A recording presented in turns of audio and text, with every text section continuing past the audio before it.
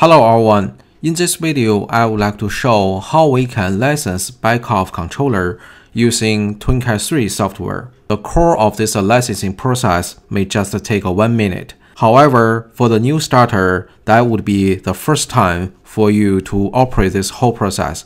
So using this video, I would like to show the whole process so that will easier for you to operate this licensing procedure. So after we create the project, and uh, after we program something in the PLC, motion, safety, or some communication modules or program, once you go to the license, double click the license, and you will find in this list, it will pop up the license in this project you need. For example, in this project, I only build up the standard PLC program. So in this project, it will pop up TC1200, this license. Currently, I'm using 7 days trial license here. So once you type in this number, here will pop up 7 days trial license. That allows you to pre-program while you are waiting for the license procedure and waiting for the controller. And once you get the license and get the controller, and you can license this controller. Once you purchase the license, you will get the license ID via the email. The license ID will have a 8-digit number. For example, we can type in here. In the email, it only shows a license ID. There's no customer ID. Actually, when you type in the license ID and the customer ID here, they are the same. Like this.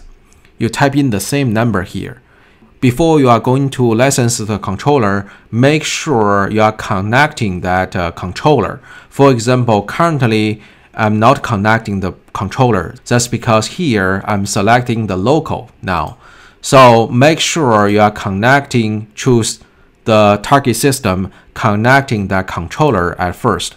That controller can be in a configuration mode or in the running mode. Uh, that will be a problem. That's because uh, once you connecting that controller, the system ID is showing here in this line. That system ID represents the actual object you are connecting.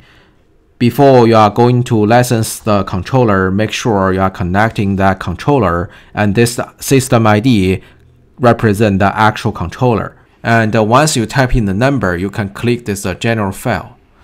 If you didn't uh, type in the number, uh, once you hit this uh, general file, it will pop up Beckhoff license ID must not be empty or license TAN must be set. The license ID come from your order and come from the email. You type in the number here. Hit this uh, general file. Once you hit this general file, the system will generate one TCLRQ. That is a request file. So your license ID and the customer ID will be a part of this uh, file name. And make sure that name is a TCL request RQ file.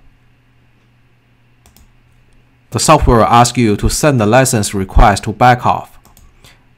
Then you need to send this uh, request file to an email address from Beckhoff. You can go to this website so from the Google, you can search Beckhoff information system licensing process and search this uh, Beckhoff information system. Then you will find this process. So this process actually is very clear. Firstly, you need to purchase TwinCAT license. And then from the TwinCAT software, you will have a system ID here.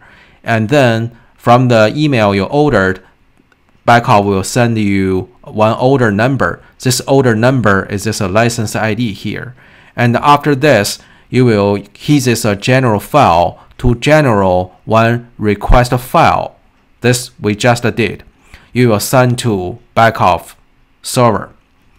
And this Beckhoff email address, that is this, tclicense at beckhoff.com.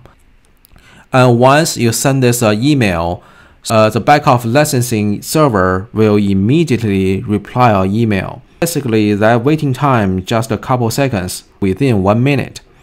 So Beckhoff will reply an email. In that email, there will be attached file. That attached file that is a license response file is showing here. And once you get this response file, then you hit this license response file. And that response file will be a TCL RS response file.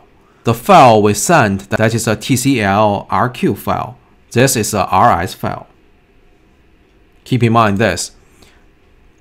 And once you hit this file, hit this uh, open, and that moment this file will be loaded and uh, verified in the TwinCAT 3 software. And once you got the licensing successfully, so this area, the current status will show the valid. And keep in mind, make sure the request file and the response file, you better backup these two files in your server or somewhere.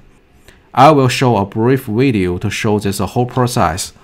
So currently I'm connecting one controller, so I have a system ID here and I type in the license ID already.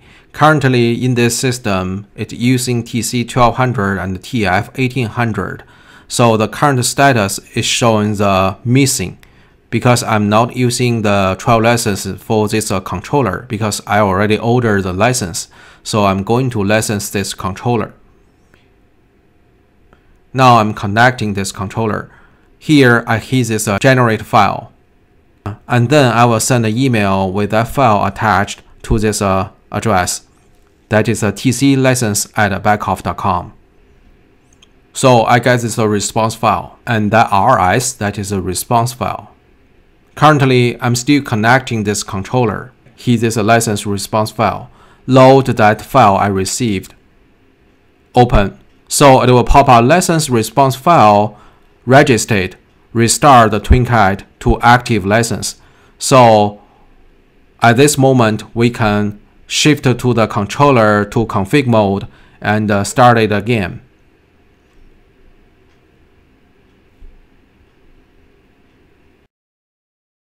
It will update to valid status. So that means those file is licensed correctly. So that is uh, the whole licensing process. In this uh, online license area, it will show all the lessons in online status. Alright, thank you for watching. Thank you for watching. If you like this video, please give me a thumb up. If you like to watch more videos in my channel, please subscribe. See you in next video.